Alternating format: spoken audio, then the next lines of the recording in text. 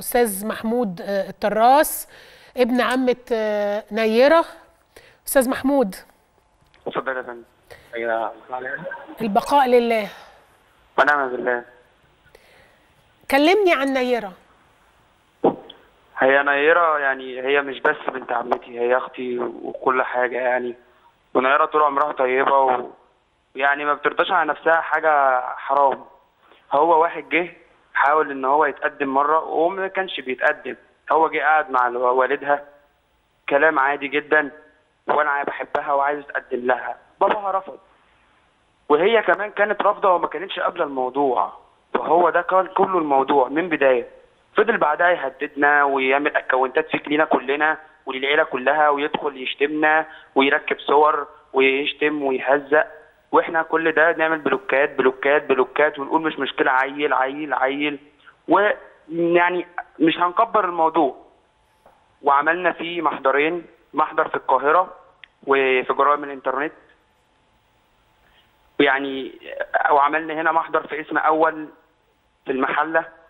وبرضه الحكومة ما قدرتش تسيطر على على شاب بيبتز بنت. إحنا يعني إحنا مش عارفين نقول بصراحة. تمام؟ وإن طالب ينزل من بيته ماسك معاه سكينة ويعدي من نقطة تفتيش ويوصل لحد الجامعة ويقتل ده في حد ذاته أنا اسال في مين؟ يعني حرقه حرقة قلبنا وحرقة قلب والدها ومامتها اسال في مين؟ أنا عايزك بس حضرتك ترد عليا. اسال في مين؟ ولا هو مجنون ولا هو متخلف وثلاث سنين امتياز في الكلية. وأنا معاهم في الكلية وفي ثالثه عربي بس هم في لغات شرقية. أسأل مين؟ والله ما أعرف يا محمود. أنا عايز بس حضرتك ترد عليا. أسأل مين في واحد اتعمل فيه بلاغات والمفروض إن الحكومة كانت تاخد خطوة كل لما نروح نعمل بلاغ البلاغ يتركن البلاغ يتركن البلاغ يتركن. وماذا بعد؟ طب هل لما كنتوا. بتعملوا بلاغات يا محمود كانوا بيجيبوه مثلا بيحققوا معاه بيقولوا ولا له؟ أي حاجة. ولا أي حاجة. نعمل بلاغ وناخد آه، محضر رقم محضر و... والموضوع يتقفل على كده. نعمل بلاغ تاني والموضوع يتقفل على كده. وعملنا بلاغ في في, بحث الإنترنت وما فيش فايدة ولا أي حد بيتحرك. طبيعي هي بنت نازلة من بيتها يوم الامتحان الله يرحمها ليها يوم الامتحان كانت نازلة عادي راح امتحانها واحد هددها عادي ما بقاله سنتين بيهدد. تمام؟ وإحنا ساكتين عادي وبيعمل اكونتات فيك وبيهددنا كلنا وعادي مش مشكلة. أكيد مش هتيجي في بالها إن هي تنزل عاملة حسابها إن هو هيعمل فيها كده. أكيد لأ يعني. إن أنا أشوف إيه، يعني يعني يا أختي أشوف أختي قدامي في كفن وإن أنا أنزلها بإيدي الأب. يعني دي مش حاجة صعبة على الواحد. وإحنا بنطالب بحاجة بسيطة خالص. طالب من قتل يقتل ولا بعد إيه إحنا طبعا عايزين طبعا. إحنا عايزين حقنا. ما بنطالبش أكتر من حقنا. وبس. يعني ده أقل حاجة فيه الإعدام أقل حاجة فيه الإعدام. وأنا عندي أنا حضرتك أنا كنت في الكليه النهارده وسألت ناس في القسم والدكتور بتاع القسم عندهم كان مشرفنا دلوقتي وقال لنا إن هو كان عاقل وكان في كامل قواه العقلية وإن هو حضرتك يعني ثلاث سنين امتياز في الكلية. مفيش حد مجنون؟ ثلاث سنين امتياز في الكلية؟ ثلاث سنين امتياز في الكلية. والدكاترة ودكتور محمود الجيد عميد الجامعة قايل لي الكلمة دي النهارده إن هو ثلاث سنين امتياز في الكلية.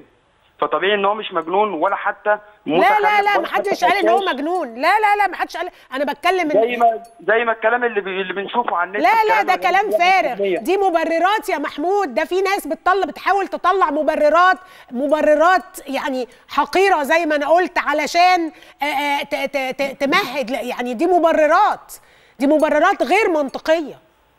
إحنا والله مش بنطالب بحاجة بنطالب حرقة قلبنا دي تروح لما هنشوفه يتقتل زي ما قتل بنتنا. هل فعلا خالك أبو نيرة رفض يعمل عزاء إلا لما يتحكم عليه؟ أيوه يا فندم إحنا رابطين نعمل أي عزا وأي قرآن. القرآن شغال في البيت طبعا. وكل حاجة لكن طبعا. مش هنشغل القرآن في الشارع غير لما يجي حقها. وقت ساعتها نعرف ناخد عزانا وناخد حقنا بجد ونعمل عزا براحتنا. وحق- أما هو طول ما هو عايش وبيتنفس واللي قتل بنتنا طول ما إحنا مش هنعرف نعيش حتى غير لما نشوفه ميت زيها. وحقها هتاخدوه يا محمود. حقها هتاخدوه. إحنا عايزين حقها بأقرب وقت. أنا مش عارف كل الأدلة أمها طمني على أمها. هي هو اتحبس خلاص وعلى طول ال... أنا متأكدة إن النيابه هتحيل ال... ال... ال... الأمر لمحاكمة عاجلة. أنت بتتكلم في في في أسابيع قليلة وهتشوف حق نيرة. قول لي يا محمود أمها كلمني عن والدتها. مصر كلها تدعي لوالدتها وتدعي لباباها وتدعي لينا عشان والدتها وباباها مش في أحسن حال وبالذات ماماها طبعا مامتها يعني. طبعا. أحسن حال إيه؟ ده ده حالتها أكيد زي الزفت. شكرا يا محمود. يعني شكراً مش مش عارفة أقول. لك إيه.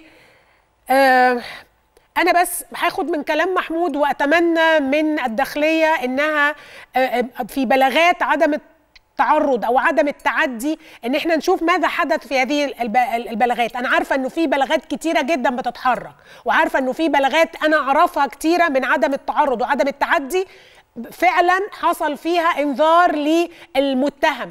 عايزين بس نعرف ماذا حدث في بلاغات عدم التعرض وعدم التعدي اللي قدمتها نيرة وأسرتها ضد هذا المتهم بقتلها علشان يعني هنا في قضية مهمة لأن هو عدم التعدي ده لازم يجي ويتجاب وي وي وي وي ويمضي وعدم التعدي. بس ال بس القسم بي بيقول له إحنا بنحذرك من عدم التعدي فبيمضي على تعهد. هل ده حصل ولا ما حصلش؟ نتمنى إنه بس نعرف من الداخلية هذه المعلومة. وكمان من قضية الإنترنت مباحث الإنترنت البلاغ اللي هم قدموه.